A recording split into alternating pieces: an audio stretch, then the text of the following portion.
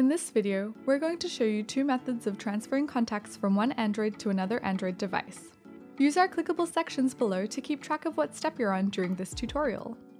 The first method is to sync with your Google account. We're using a Samsung Galaxy A30s running Android 10, but it should look similar on other Android devices.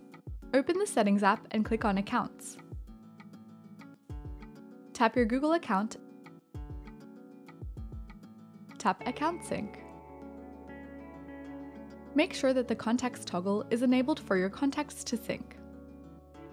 When you sign into your Google account on any new Android phone, your contacts will be there.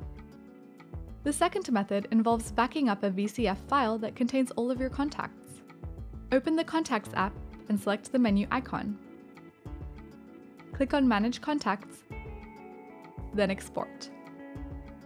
Select where to export these contacts. I'm selecting Internal Storage the contacts are exported to your internal storage.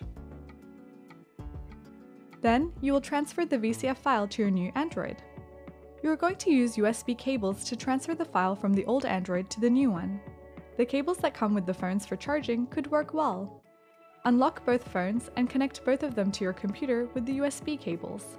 Open the File Explorer and click on the This PC tab on the left side of the display.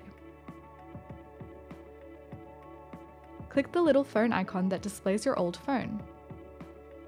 Then drag and drop the VCF file from the old phone to the new one. Once the file is transferred, browse to the VCF file and open it.